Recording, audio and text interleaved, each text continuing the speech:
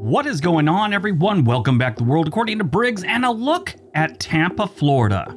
Tampa sits on Tampa Bay on the west side of the state, which is the Gulf side of Florida, about midway up the coast. It's the main city in the Tampa Bay metro area, I guess you could call it, with St. Petersburg, Clearwater. I've always felt Tampa is a little underappreciated as far as Florida cities go. It is often overshadowed by places like Miami, Orlando, Fort Lauderdale, and these days Jacksonville a little bit. Tampa is the largest city in the Tampa Bay metro area, and it's the third most populous city in Florida after Jacksonville and Miami. It's the 52nd largest city in the United States. If you live here, you get warm weather, you you have access to great beaches and a pretty cool pirate festival every year.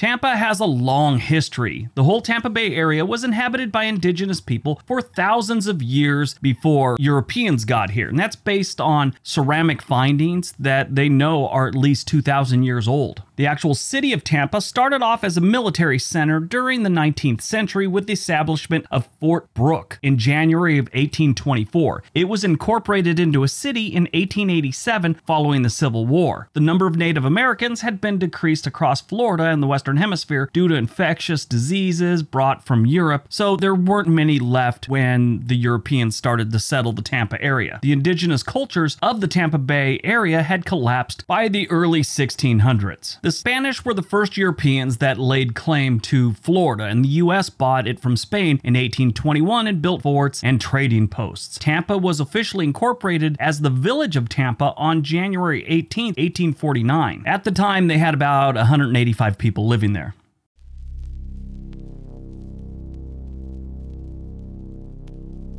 Population of Tampa has been growing ever since we bought it from the Spanish. They've had one decade where they actually lost a little population, and that was in the 1980 census. Some decades, like the 1960 decade census, whatever you want to call it, they actually gained 120%. In 1950, they only had 120,000. By 1960, they had 274,000 living in the city of Tampa, not the whole metro area. At the 2000 census, there were 303,000 residents in Tampa, and in the 2020 2020 census, they had 384,000, with the whole metro area having a little over 3 million residents. So it's kind of big and it's kind of popular. Maybe not so much for the people that are into religion. A study was done where they ranked the 51 largest cities in the US by all kinds of categories. And one of the categories was how often do the residents attend religious services. Tampa, was second to last. Only 32% of their population regularly attends religious service. Number 51, the absolute dead last, was Portland, Oregon, with 28% of their population attending religious services on the regular. If you want to look at the racial makeup of Tampa, 46.3% of the population is white, black or African American is 26.2%, Hispanic or Latino is 23.1%, Asian is 3.4%, multi race, meaning two or more races, is 3.2%. Everyone else is under 1%.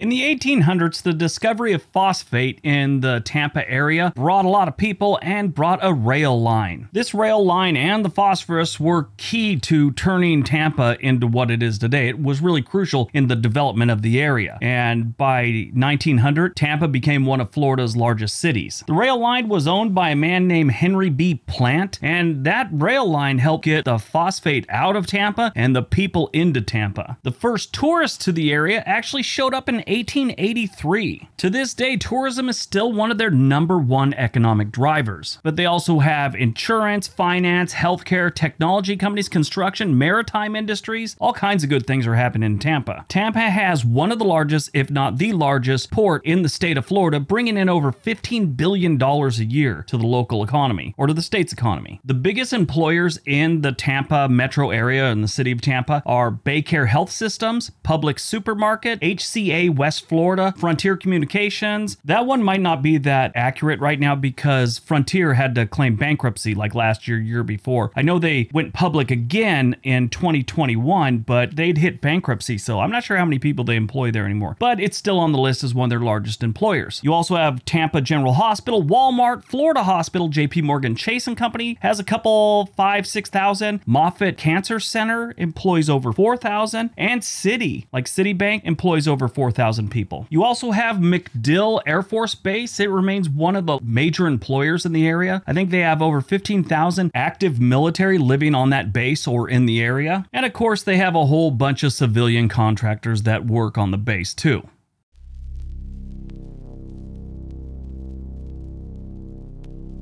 Now we look at neighborhoods. On this one, we usually like to look at probably one of the best neighborhoods and one of the worst neighborhoods. And I have to give you a disclaimer. I'm not saying these are the absolute worst or the absolute best. I'm just going by the livability score. And the livability score includes things like their housing prices, their crime rate, their schools, all those things combined give you a livability score. I'm sure a lot of the locals won't agree with this. I'm just going by a stat, okay? And we also use the actual name of the neighborhood. A lot of the locals might call it something different, but people watching this like to look things up like this on Google or maybe they're talking to a real estate agent and they have to give the exact name of the neighborhood that they're looking at. Like I've said before, I grew up in a neighborhood called West Torrance. That was my childhood home. Come to find out years later, West Torrance is actually closer to the high school West Torrance. My neighborhood was actually called Southwood. And if you want to look it up on Google Maps or talk to a real estate agent, you're looking for Southwood. Get it? Got it? Good. Let's take a look. When it comes to great neighborhoods in the Tampa area, there's quite a few to choose from. I mean, it's right there on the water. You have potential for a lot of very nice and expensive neighborhoods. But we're going to go with Bayshore Gardens because it has the highest livability score of 97. Bayshore Gardens is a smaller neighborhood with only about 2,000 residents. Their houses here, because it's right on the water, they vary drastically. There's a few that I've seen for over $4 million,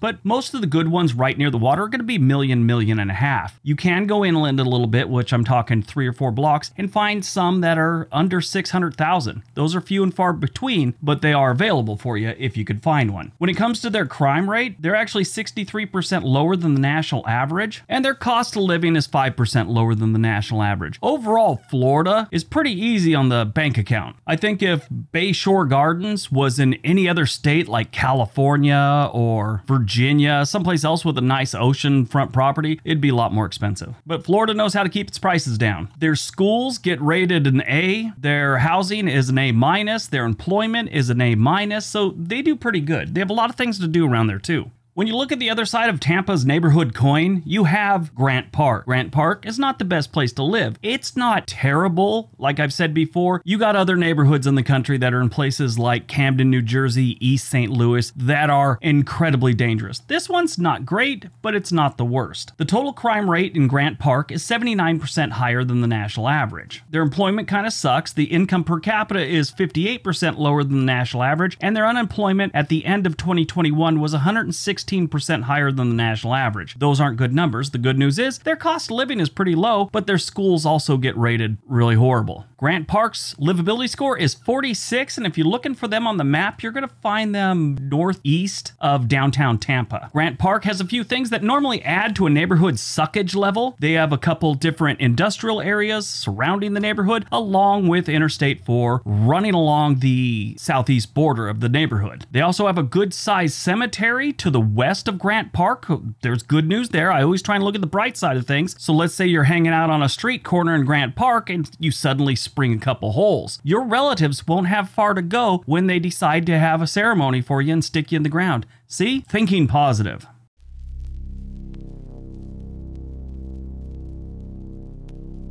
When it comes to moving to an area, there's certain stats people look at for the whole area, not just a certain neighborhood, like their crime stats, their cost of living, and the typical home price. And I'm going to give those to you right now. The total crime rate of Tampa is 18% lower than the national average. Their violent crime rate is 7% higher than the national average. You have a 1 in 50 chance of becoming a victim of a crime every single year you live in the Tampa area. The cost of living here is 1% lower than the national average, and it's also 3 3% lower than the state average. Housing is 4% lower than the national average. Goods and services are 2% lower than the national average. That's not bad. The typical home price in Tampa is $350,000, roughly, give or take. It changes every month, but that's what they say right now. The median home price is roughly $350,000. You look around, since it's right on the bay, you could find homes for $5 million all the way down to $217,000 that are livable. You probably find something lower like 150,000, but you probably won't want to live there. Probably end up in Grant Park removing plywood from the windows and having to throw out your carpet, realizing that the wood underneath your carpet needs to be thrown out, and then you finally decide to bulldoze the place.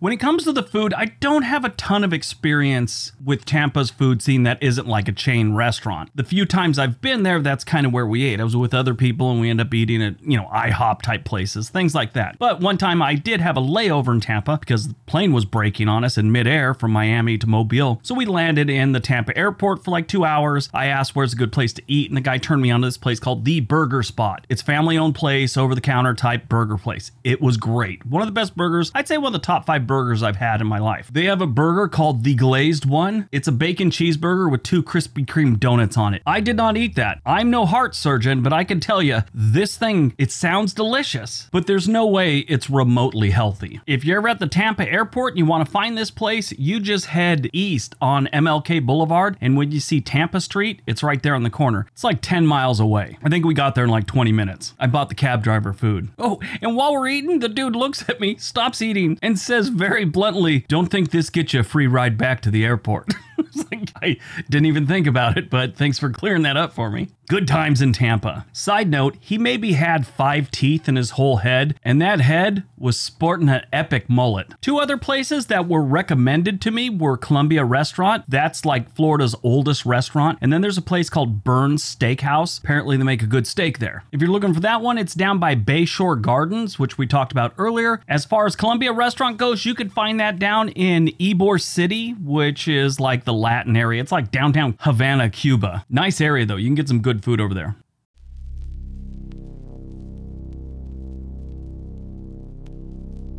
Tampa is tourism. Pretty much the whole Tampa Bay metro area is tourism. I mean, that's one of their biggest economic drivers. People coming there and spending money. There's a lot of things to do in this city and its metro area, far beyond their beaches, which are excellent. They have tons of great places in this area of Florida where you can go lay out on a beach and have a good time. But beyond that, you have Busch Gardens. It's 335 acres of an African themed amusement park with like thrill rides and exotic animals, all that good stuff. You have a water park called Adventureland. Tampa has a lot of family friendly activities. They have a zoo and an aquarium, the Glazer Children's Museum, Big Cat Rescues there, there's a manatee viewing center, and a whole bunch of normal city recreational type parks with tons of hiking trails, and they even got a waterworks park for the kids. Definitely a great place to have a vacation.